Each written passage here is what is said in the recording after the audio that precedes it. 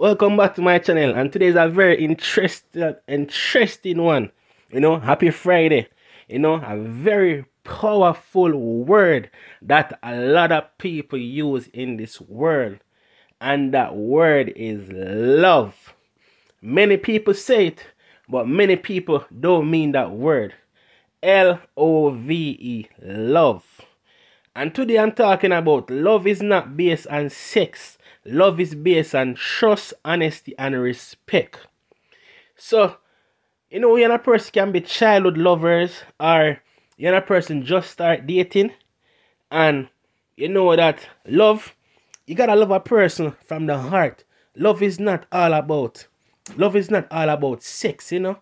You know, love is not all about sex. Imagine you and a person been together five, six, seven years or ten years, and that person met in a car accident or got paralyzed from a car accident or have a sickness or some form of sickness and it it it uh mess up their body where you and that person can't have love making no more. If you love a person, people, you gotta love a person from the heart.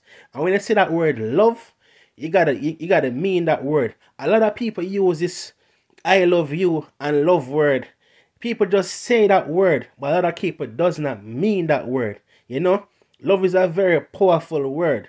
You understand me? And you gotta love a person genuinely from the bottom of your heart. If you say you love somebody, you gotta love that person unconditionally. You can't love that person half time or sometime or whenever you feel like it's convenient for you. If you love somebody, you love somebody through thick and thin, through good and through bad. You can't just love a person when it's happy days. You gotta love a person through the bad days too. You understand me? Yes, this, this is a very powerful one, you know.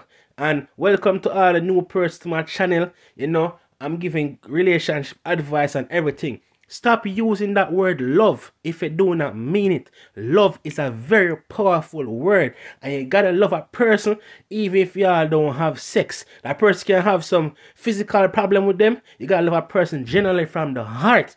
People, I'm loading this vlogs back to back to back. Like, comment, share, subscribe, hit that notification bell. Have a great weekend. I'll see you in my next video very soon. Thank you for watching. Flossy Vlog.